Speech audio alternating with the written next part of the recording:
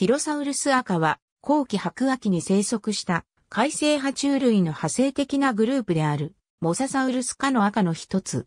ティロサウルス赤に属する動物の化石は南アメリカ大陸を除くすべての大陸から発見されている。ティロサウルス赤にはティロサウルス、タニファサウルス、ハイノサウルス、カイカイフィルが含まれる。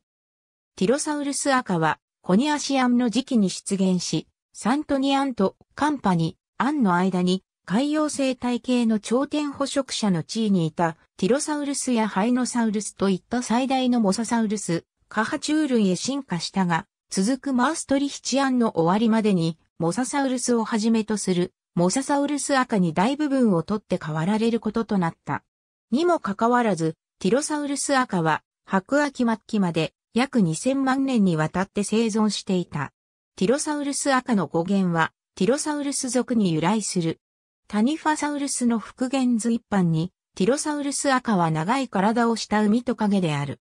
葉は頑丈な円錐型をなし、前上顎骨は長く伸び、歯骨は他のモササウルス科の赤と異なって末端まで葉を持たなかった。当初エドワード・ドリンカーコープは鼻先を波状土と表現したが、滑石証拠からは支持されていない。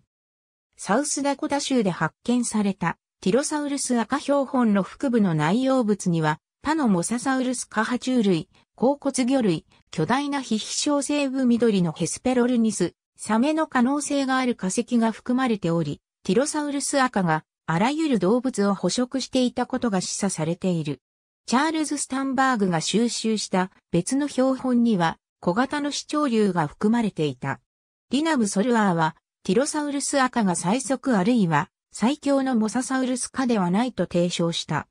しかしながら、彼らの体育は華奢にできており、体重を大きく軽減した上に肩体と腰帯及び、四肢が比較的小さかった。彼らの骨ははるかに網目状であり、隙間を脂肪細胞で満たして浮力を得ていた可能性がある。これらの特徴から、ティロサウルス赤は待ち伏せ型の捕食者であった可能性が示唆されている。ティロサウルス赤は最大のモササウルス科の一派であり、特にティロサウルスとハイノサウルスの種には全長9から12メートル以上に達する種もいる。ラッセルにおいてティロサウルス赤は以下のように定義される。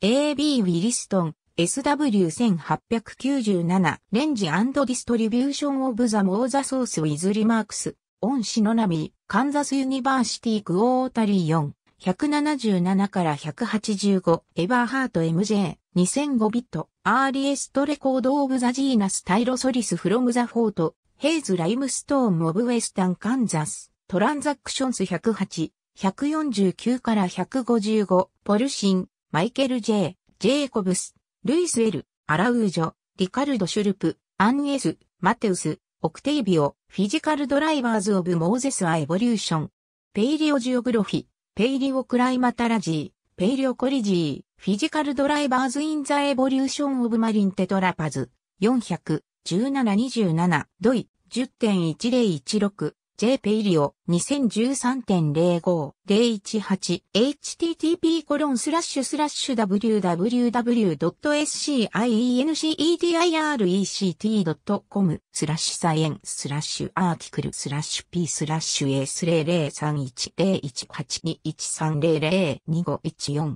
マーチンズ病気 PR 1987ガストリックレザデュースアソシエーテッドウィズ A モーゼスはフロムザレートクラテイショスピエールシェイルインサウス、ダコタ、リコテラさん、68から72、スターンバーグ CH、1922、エクスプロレーションズ・オブ・ザ・パーミャン、オブ・テキサス・アンドザ・チョーク・オブ・カンザス、1918、トランザクションス・オブ・ザ・カンザス・アカデミー・オブ・サイエンス30、119から120、ステート・プリンター、トペカ、エバーハート MJ、2004、プリージーソースアズザフードオブ、モーザソース、ニューデータオンザストマックコンテンツオブ A、タイロソリスプロリジャーフロムザナイアブレイラ、フォーメーションオブウェスタンカンザス、ザ・モーゼスは7時41分マイナス46、ラッセル DA、1967、 Systematics Morphology of American Mosasaurs、Peabody Museum of Natural History、Yale University、Bulletin 23。